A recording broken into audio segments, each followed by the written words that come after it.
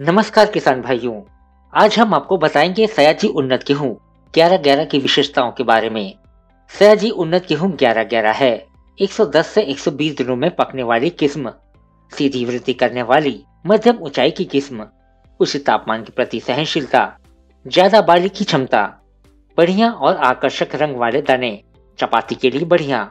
और ज़्यादा उपज देने वाली किस्म